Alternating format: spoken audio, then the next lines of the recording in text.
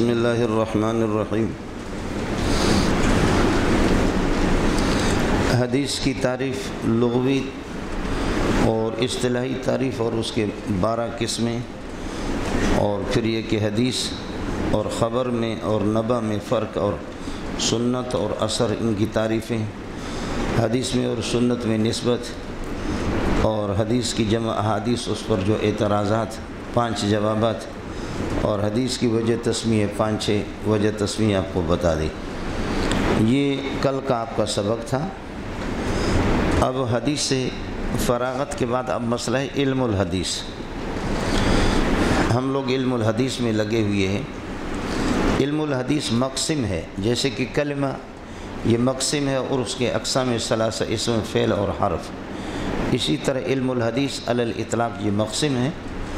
और इसकी तारीफ़ मौजू और गर्ज़ वायत फिर उसके बाद इसकी तीन किस्में। इल्मुल हदीस की तीन किस्में अलम बरवायत हदीस और इल्मुल हदीस रिवायतन और इल्मुल हदीस दरायतन और इल्म उसूल हदीस, इल्म मुस्तलह हदीस। ये तीन किस्में आज का सबक आपका यही है। अब मसला है, अल्लाह आपका भला करे इल्मुल हदीस। इल्मुल हदीस मैंने अर्ज़ किया कि मकसम है। और इसके तीन किस्में आपके सामने आ जाएँगी। जैसे कि कलम मकसम है उसकी तारीफ़ अलग है, फिर उसके अकसाम, इसम, फ़ेल और हरफ, वो आपस में कसीम और ज़िद होते, हर एक की तारीफ़ अलग है। इल्मुल हदीस, मौलाना मुतलकन इल्मुल हदीस, उसकी तारीफ़ ये कि हुआ इल्म यूरफ़ भी अकवाल रसूल वसम व अफ़ाल व तकरीरत हो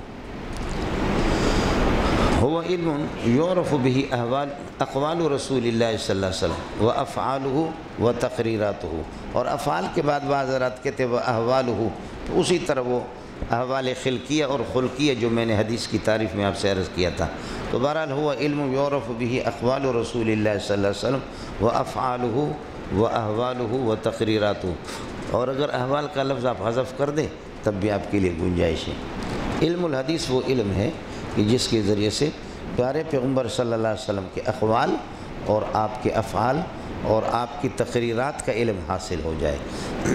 ये अक़वाल और अफ़ाल और तकरीरात, इनकी मिसालें कल हदीस में आपके सामने गुज़र चुकी हैं। इल्मुल हदीस का मौजू अलल इतलाक़ ज़ातुर्रसूल मिन है सुअन्नहु रसूलुल्लाह है। ज़ातुर्रसूल मिन है सुअन्नहु रसूलुल्लाह। हज़रत वसल्लम की ज़ात कुदसिया और आपकी ज़ात मुबारक वो बहसीत रसालत, ये इल्मुल हदीस का मौजू है। बहसीत रसालत। वैसे बहसीत इंसान तो फिर ये इल्म तिब का मौजू है। मेरा बदन और आपका बदन, मेरी ज़ात, आपकी ज़ात, कोई भी हो, अनबिया की ज़ात, वो बहसीत इंसानियत। तो ये इल्म तिब का मौजू है। लेकिन यहाँ हमने कैद लगाया ज़ातुर्रसूल मिन है, सो अन्नहू रसूल है। बई हैसियत क्या अल्लाह के रसूल है। रसालत के अतबार से ये इल्मुल हदीस का मौजू बनेगा। और रसूल आप जानते हैं, आपको आसान रसूल का मना कासिद है। रसूल एक वास्ता होता है, ये अल्लाह खालिक और मखलूक के दरमियान में मौलाना। और दूसरे अल्फाज में ये कह दूँ कि एक अब्द होता है और एक रसूल होता है। रसूल वो है कि अल्लाह आपका भला करे, क्या है?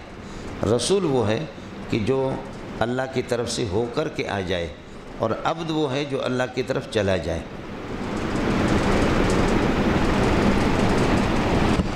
समझता है? आप पढ़ते रहते ना अशद अन्न मोहम्मदन अब्दहू व रसूल हो क्या ख्याल है आपका? अब्द बेहतर है, रसूल बेहतर है? रसूल बेहतर है। अब तो आप है, लेकिन आप रसूल तो नहीं है। समझ रही है कि नहीं? लेकिन अब्द में ये होता है, खालिक के पास जाना होता है और रसूल में ये होता है कि खालिक से होकर के मखलूक के पास आना होता है। तो जाना बेहतर है या आना बेहतर है? जानान के पास जाना बेहतर है या आना बेहतर है? जाना बेहतर है। इसलिए कि जब जानान के पास आप जाएँगे तो विशाल होगा और जानान से होकर के जब वापस मखलूक के पास आएँगे तो फ़िराक होगा। ज़ाहिर है कि विशाल का क्या कहना फ़िराक का कहना फ़िराक तो नाकाबिल बर्दाश्त है और विशाल को तो अल्लाह और ही बढ़ा दे। इसलिए अगरचे रसूल का मकाम ऊँचा है, लेकिन यह है कि उसमें फ़िराक है और अब्द के अंदर अल्लाह आपको भला करे, विशाल है और उसमें आजिज़ी तवाज़ु है। इसलिए अशद मोहम्मद अब्द अब्दू रसूल किसको समझ में आ गया? ये आपने नहीं देखा है कि बकरियों को और इसी तरीके पर मुर्गी है उसके इस सीने के साथ आपने देखा सफ़ेद किस्म की एक हड्डी होती है। पठान लोग और आप लोग महाजिर लोग, सिंधी लोग उसको नहीं खाते। हम लोग बलोच लोग मज़े से उसको खाते। वो होती है हड्डी सी। वो हड्डी भी है, वो गोश्त भी है। वो हड्डी भी है और क्या है? वो गोश्त भी है। समझिए में वो खून लेकर के हड्डी को सप्लाई भी करती है। गजरूफ जिसको कहा जाता है। एक किस्म का वास्ता ही होता है। तो रसूल भी एक किस्म का वास्ता है अल्लाह और मखलूक के दरमियान खालिक और मखलूक के दरमियान तो इल्मदीस का मौजू है ज़ातुलरसूल मिन है सो अन्नहू रसूल है कि आप अल्लाह के रसूल है और अल्लाह के कासिद है। अल्लाह की तरफ़ से पैगाम लेकर के आप खालिक की तरफ़ से, खल्क की तरफ़ और मखलूक की तरफ़ पैगाम लेकर के आता है। मौजू है इल्मदीस का, अल्फोज़ बसादत दारैन। दुनिया और आखिरत की कामयाबियाँ और ये कि नेक बख्ती अल्फोज़ बसादत दारैन ये इल्मदीस हो गया, अल्लाह आपका भला करे। मुतलकन, जिसकी तारीफ़, मौजू और गर्ज़ वायत अब इसकी तीन किस्में हैं इल्मदीस के। अब अकसाम आएँगे इल्मदीस रिवायतन इल्मदीस दिरायतन और इल्म उसूल हदीस या इल्म मुस्तलह हदीस। और इल्म हदीस। ये मुख्तलिफ़ इसके नाम हैं। इल्मदीस रिवायतन। इल्मदीस की तारीफ़ आपके सामने आ गई रिवायत। रवा यरवी रिवायतन का मना नकल करना। और रवि यरवा रवि यरवा रिवायतन उसका माना सैराब होना। ख्याल कर लेना। समझ रही है कि नहीं? आपने पढ़ा ना ये जो मशकीज़ बेजाबी में पिछले साल पढ़ा। मशकीज़ जो होता है, उसको राविया कहते हैं। और कसीर रिवायत रावी को भी राविया कहते हैं जो कसीर रिवायत हो। राविया मशकीज़ को भी कहते हैं। तो वो जो है ना, वो रविया रविया यरवा रिवायतन से है। और ये रवा यरवी रिवायतन, ज़रब यरब से आ जाए तो इसका माना नकल करना। और समय यसमों से आ जाए तो इसका माना होता है सैराब होना, सैराब करना, सैराब होना। इल्मुल हदीस रिवायतन। ये इल्मुल हदीस रिवायतन बेनी हुई हदीस है, थोड़ा सा एक अल्फाज बढ़ाएँगे। वह इल्म यशतमिल अला नकल मा उज़ीफ़ नबी वसल्लम कौल और फ़ेल और तकरीर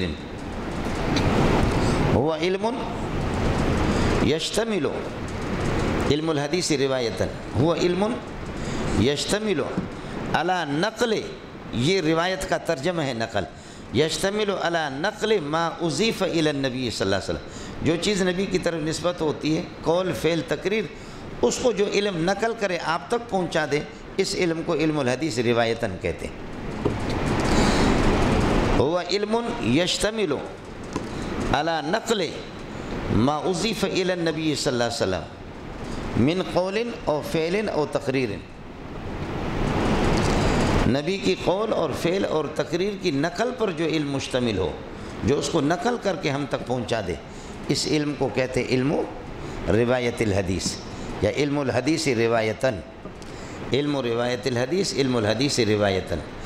ये वजीफ़ा है मुहदसिन का, कि हदीस को नकल करना, आप तक पहुँचा देना। Bukhari, Muslim, Tirmidhi, Nasai, Abu Dawood, Ibn Majah 320 की 20 किताबें मोहम्मद अली अथानवी रहमत ने लिखा कि अपने ज़माने में जो किताबें उन्होंने देखी थी, जिस वक्त जो किताबें छपी हुई है जो कुछ मखतूतात वरना हदीस की किताबें बहुत है।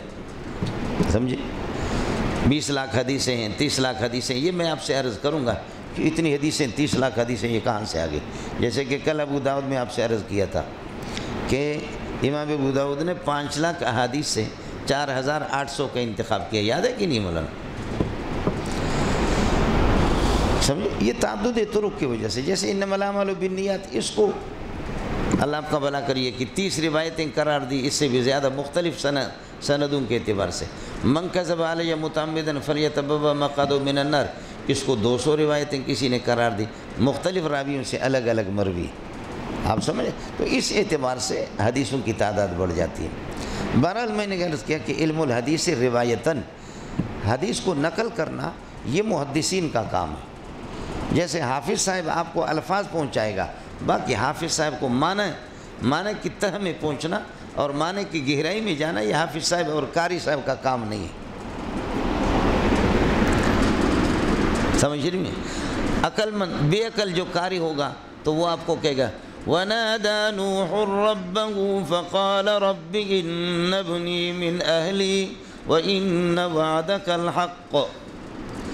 तो बेअकल कारी होगा तो वो आपको बताएगा कि वनादा नूह रब्बहू। समझ? अक्लमंद काली कहता है कि मैंने सोचा, नूह नू सलाम तो नादान नहीं था, बल्कि दाना था, इसलिए उसने लिख दिया वदाना नूह रब्बा मज़ाक कर रहा हूँ मौलाना तो हाफिज़ और कारी तो वो सिर्फ़ अल्फाज आप तक मुहदसिन का काम यही है। इल्मुल हदीस रिवायतन इल्म यशतमिल अला नकल मा उज़ीफ़ नबी वसल्लम मिन कौलिन और फ़ेलिन और तकरीरिन ठीक है? कौल और फ़ेल तकरीर की नकल पर जो इल्म मुश्तमिल हो, जो इल्म हम तक पहुँचाए। ये इल्मुल हदीस रिवायतन, ये मैंने अर्ज़ किया मुहदसिन का वजीफ़ा है। ये मुहदसिन का वजीफ़ा है मुहदसिन Bukhari, Muslim, Tirmidhi, Nasai, Abu Dawood, Ibn Majah, आपके सियासत दीगर हदीस की जितनी भी किताबें हैं मुहदसिन का वजीफ़ा यही है। आया मसला समझ?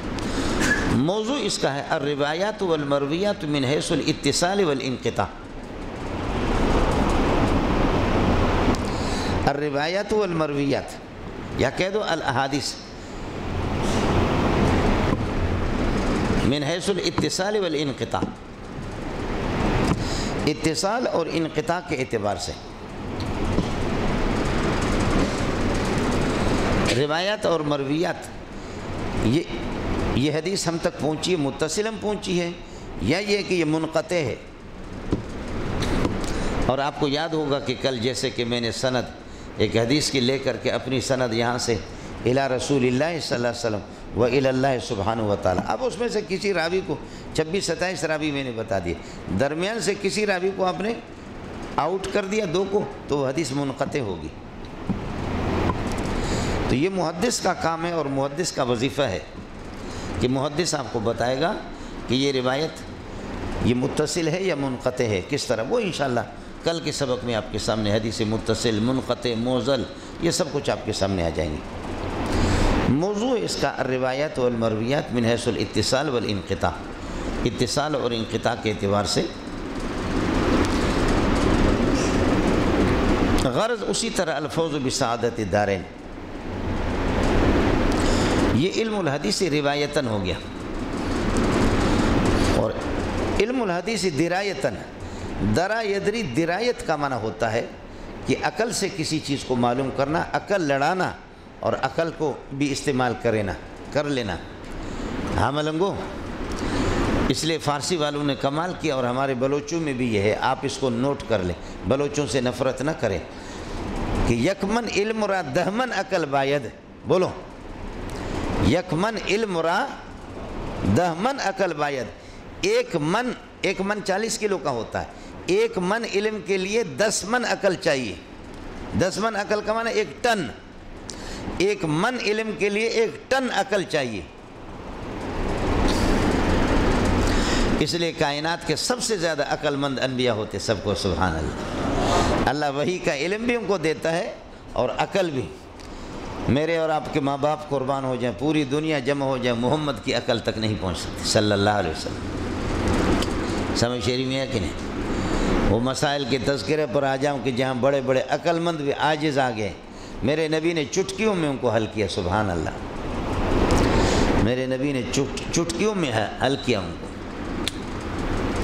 इन किसी टाइम पे आपको बता दूँगा, जाली नुस्खा, जो बड़ा हकीम अपने आप को समझता था। हज़रत मूसा सलाम के साथ जो मुनाजर हुआ, हज़रत मूसा सलाम ने उठा करके इधर से उधर फेंका उसको। नबी के साथ कौन मुनाजरा कर सकता समझता है? हम्म? इसलिए बार बार कहते हाथू बुरहान कुमिन तुम स्वादिकीन। बुहरान पैदा न करो, बुरहान लाओ। बोलो। बुहरान पैदा न करो, बल्कि क्या कर दो?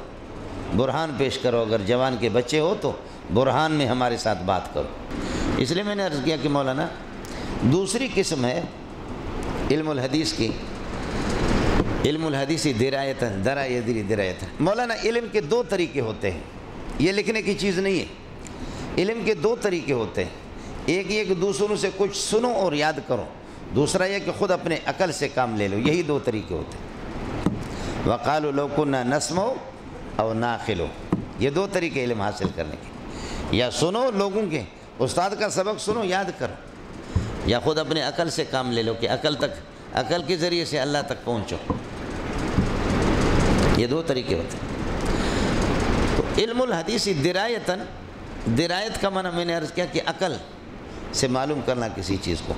अब इसकी तारीफ़ सुनो। इल्मुल हदीसी दिरायत ये क्या है?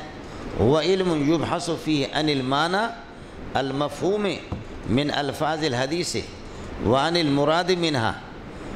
मबनियन अला कवाद अरबियत व जवाबित शरीत मुताबिक नबी अलैहि वापस आ रहा हूँ, लिखवा रहा हूँ आपको। हुआ इल्म युबहसफ़ी अनिलमाना अलमफ़ूम मिन अल्फाज हदीस व अनिलमराद मिनहा। हुआ इल्म युबहसफ़ी अनिलमाना अलमफ़ूम मिन अल्फाज हदीस व अनिलमराद मिनहा, मबनियन अला कवाद अरबियत, मबनियन अला कवाद अरबियत, व जवाबित शरीत व जवाबित शरीत मुताबिक अहवाल नबी वसल्लम। इल्मुल हदीस दिरायत ये इल्म है कि उसमें बहस होती है, उस माना से जो माना अल्फाज हदीस से समझ में आ जाए, उस माना और मुराद से बहस होती है, माना और मुराद से बहस होती है, जो अल्फाज हदीस से जिनको अखज़ किया जाता है, अल्फाज हदीस से जो माना समझ में आता है। लेकिन ये इल्म मबनी होता है अला कवाद अरबियत, अरबी कवायद पर, व जवाबित शरीत शरी उसूलों पर मबनी होता है। मुताबिक अहवाल नबी वसल्लम हज़रत के मिजाज के मुताबिक बिल्कुल फ़की बात को निकालता है।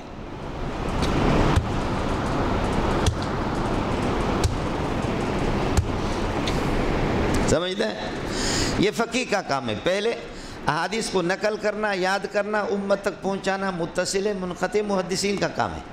अल्फाज हदीस को। लेकिन अल्फाज हदीस की गहराई में जाना और मसाइलों से इस्तेमाल कर लेना, ये फ़कीह का काम है। खुला से ये निकला, इल्म रिवायत हदीस वजीफ़तुलमहदसिन है और इल्म दरायत हदीस वजीफ़तुल्फ़ुक़हा है। इल्म दरायत हदीस वजीफ़तुल्फ़ुक़हा है। मौलाना मौजू इसका है, अर्रवायात वलमरवियात मिन है सो इस्तेबातुलहकाम मिनहा। अर्रवायात वलमरवियात मिन है सो इस्तेबातुलहकाम मिनहा।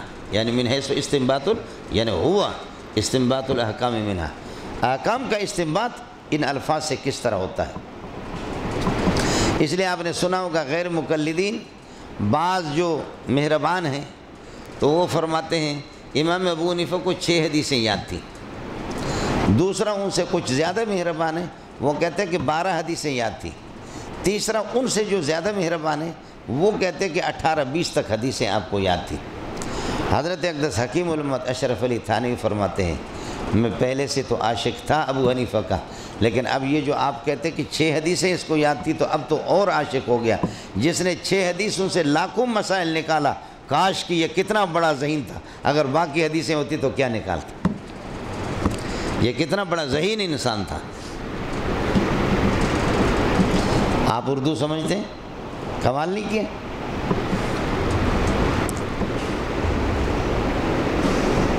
समझता? ये इल्म हदीसी दिरायतन।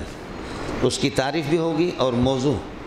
मौजू रिवायत मरवियत मिन हैसो इस्तेबातुलहकाम मिना अहकाम का इस्तेमाल उनसे किस तरीके पर हो और इस्तखराज मसाइल किस तरीके पर हो? वहादा वजीफ़तुल्फ़ा ये फ़ुक़ा ही का वजीफ़ा है। समझता है? गर्ज़ गायत इसका यह है कि मारफ़तुलहकाम शरीयत अहकाम शरिया की मारफत हासिल करना और उस पर अमल करना। तीसरी किस्म है, इल्म उसूल हदीस और इल्म मुस्तलह हदीस। इल्म उसूल हदीस, इल्म मुस्तलह हदीस।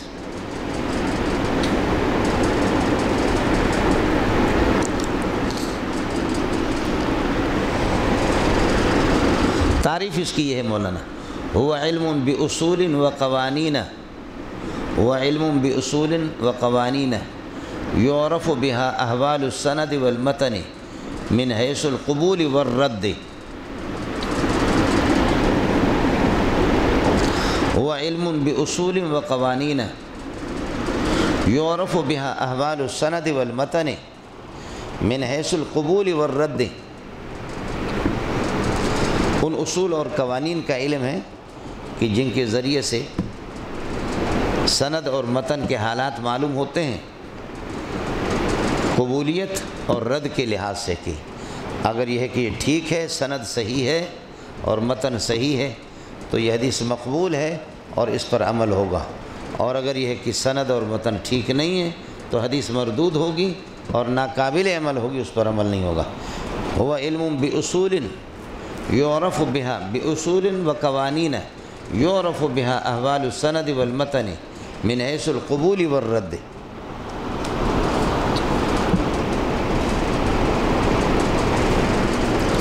आया मसला समझ मौलाना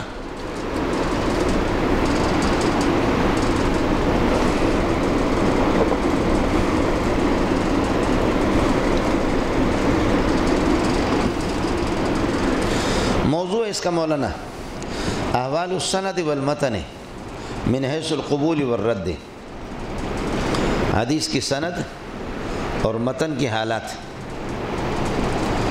कबूलियत और रद्द के लिहाज से, मिन हैसलकबूल वर्रद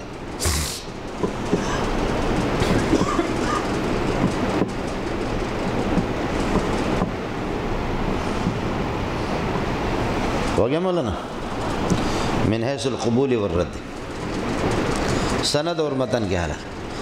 गर्ज़ गायत इसकी तमयीज़ बैन मा युकबल व बैन मा युरद गर्ज़ गायत क्या है? तमयीज़ बैन मा युकबल व बैन मा युरद मकबूल और मरदूद में फ़र्क करना, तमीज़ करना। यह हदीस मकबूल है और ये मरदूद है। तमयीज़ बैन मा युकबल व बैन मा युरद मकबूल और मरदूद में तमीज़ करना। ये इल्मुल-हदीस की तारीफ़, मौजू गर्ज़ गायत। और इल्मुल-हदीस की तीन किस्में। इल्मुल-हदीस रिवायतन इल्मुल-हदीस दिरायतन इल्म उसूल हदीस। ठीक है? इल्म मुस्तलह हदीस। ये इसकी तीन किस्में भी बयान हो गई। अब है मौलाना, दूसरी बात, आज का एक सबक, एक स्टेशन ये हो गया। दूसरा ये है कि अल-एहतियाज इल्म हदीस इल्मुल हदीस की ज़रूरत क्या है? या ज़रूरत इल्म हदीस इल्म हदीस की बेअकसाम ही असलासा तीनों किस्मों के साथ इल्म हदीस की ज़रूरत क्या है?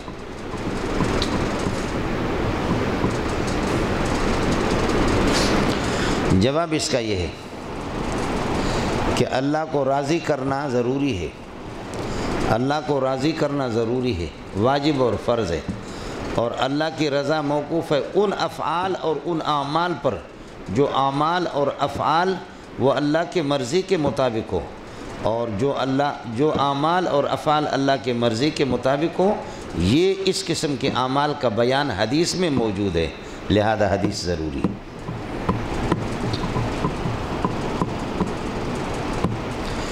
हमारे सामने यहाँ डिश लगी हुई है, दस्तरखान लगा हुआ। मुख्तलिफ़ किस्म के सालन हैं मुख्तलिफ़ किस्म के खाने की चीज़ें हैं। मुझे मालूम नहीं है कि आपका ज़ौक़ क्या है। आपको मालूम नहीं है कि मेरा ज़ौक़ क्या है। आपकी पसंद क्या है, मेरी पसंद क्या है? नसीब अपना अपना, पसंद अपनी अपनी। अकबल खार अकबल इख्तियार। समझ शरीफ में है कि नहीं? हर एक की पसंद अलग अलग है। जब आपको मेरी पसंद का इलम नहीं है, मुझे आपकी पसंद का इलम नहीं है। तो अल्लाह की पसंद का किसको इलम है? कि अल्लाह किस बात पे राज़ी होता है, किस बात पे नाराज़ होता है, किस अमल पे राज़ी होता है, किस पे? खुला से ये निकला कि अल्लाह को राज़ी करना ज़रूरी है। अल्लाह की नेमतों का शुक्र अदा करना ज़रूरी है। और ये अल्लाह को राज़ी करना, अल्लाह का शुक्र अदा करना, ये उन अमाल के ज़रिए से होगा जो अमाल अल्लाह के पसंदीदा हो। और अकवाल आमाल मर्जिया, पसंदीदा आमाल इनकी मारिफत मौकूफ़ है इल्म हदीस पर। समझे? तो इल्म हदीस को हासिल करना भी लाजिम और वाजिब है। समझता है?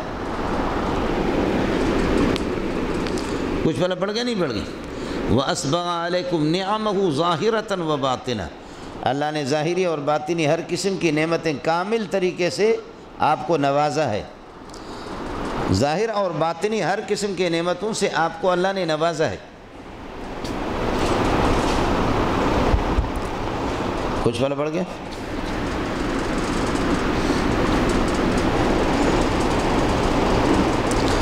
और अब ज़ाहिर है कि अल्लाह ने इतनी नेमतों से नवाजा तो उसका शुक्र भी अदा करना होगा।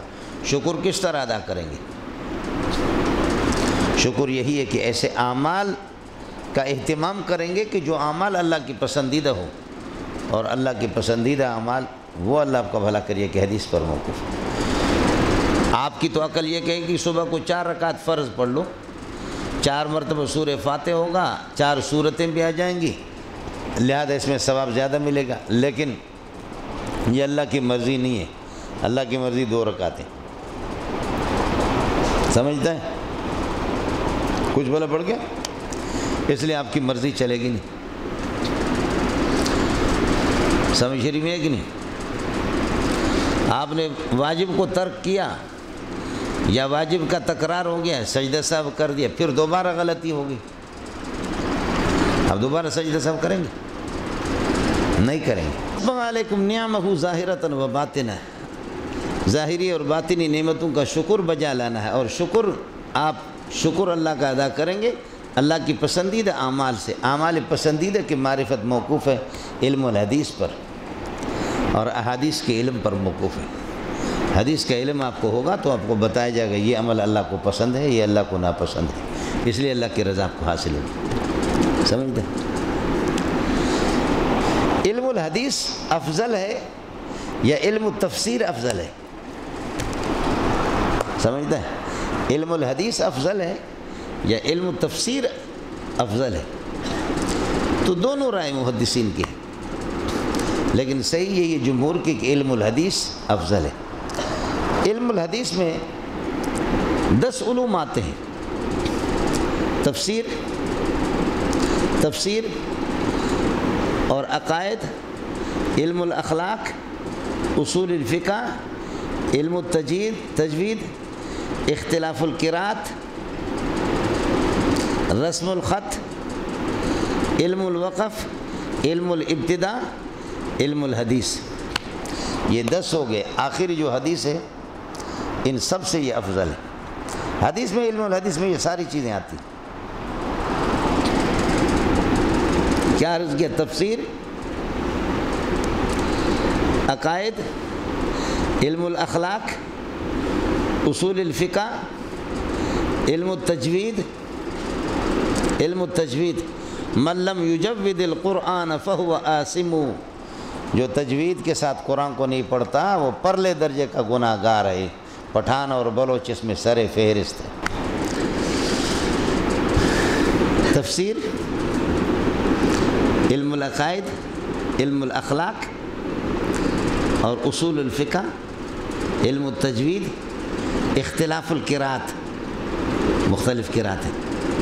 इल्मवक़फ़ ये भी किराती का किस्म है। मारिफतुलऔक़ाफ़ कहाँ कहाँ पर वक़फ़ करना है। तो इख्तलाफ़ुलक़रात इल्मवक़फ़ इल्मब्तदा इल्मब्तदा समझे?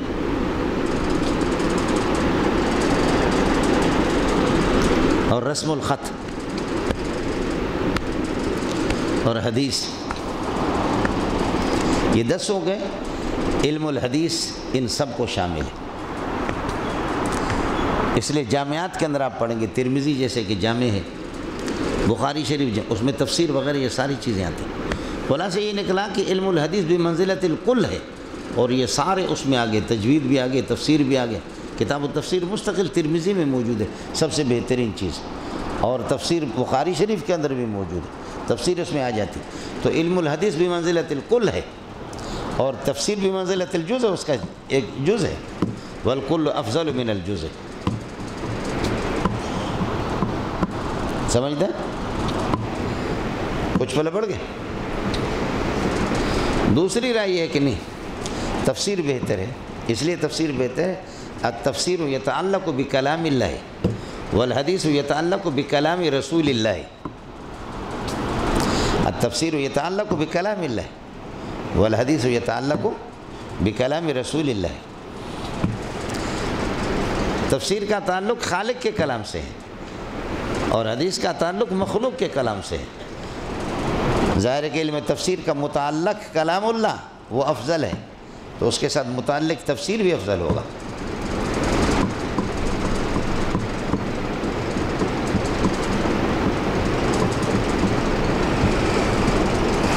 कुछ वाला बढ़ गया? ये गल है जी।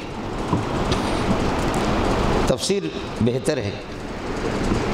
इसलिए कि उसका ताल्लुक़ कलामुल्लाह के साथ है और हदीस का ताल्लुक़ कलाम रसूलुल्लाह के साथ है। और कलाम रसूलुल्लाह मफजूल है और कलामुल्लाह अफजल है। मा यतल्लक़ बिल अफजल। व मा यतल्लक़ बिल मफजूल। तफसीर का ताल्लुक़ कलामुल्लाह के साथ, कलामुल्लाह अफजल है। तो मा यतल्लक़ बिल अफजल। और हदीस का ताल्लुक़ है, कलाम रसूल के साथ वो मफजूल है। वमा यतल्लक़ बिलमफजूल फ़वल मफजूल। नतीजे निकला फ़त तफसर अफजल। वल हदीस हुआ मफजूल।